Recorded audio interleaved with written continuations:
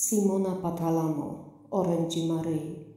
Ujrzałam mamę, miała różową, starożytną suknię, szeroki biały płaszcz z podwójnymi brzegami.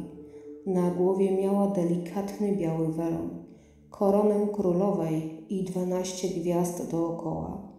Mama miała bose stopy, które spoczywały na kuli ziemskiej. Jej ramiona były półotwarte.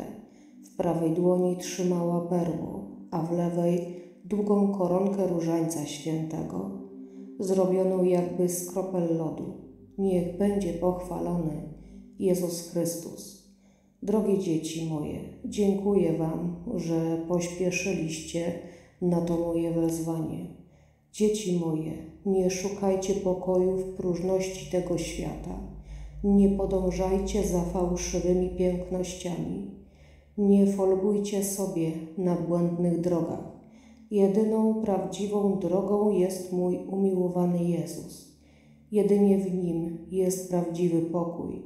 Dzieci moje, śpieszcie do kościoła. Tam jest mój Syn, żywy i prawdziwy. Tam was oczekuje. Podarujcie Mu swoje serca, a On napełni was wszelką łaską i błogosławieństwem. Pomoże wam nieść ciężary waszego życia. Powierzcie się Jemu, dzieci moje. Kocham was i zawsze jestem przy was. Nie lękajcie się, dzieci moje, kocham was. Daję wam teraz moje święte błogosławieństwo. Dziękuję, że pośpieszyliście do mnie. Amen.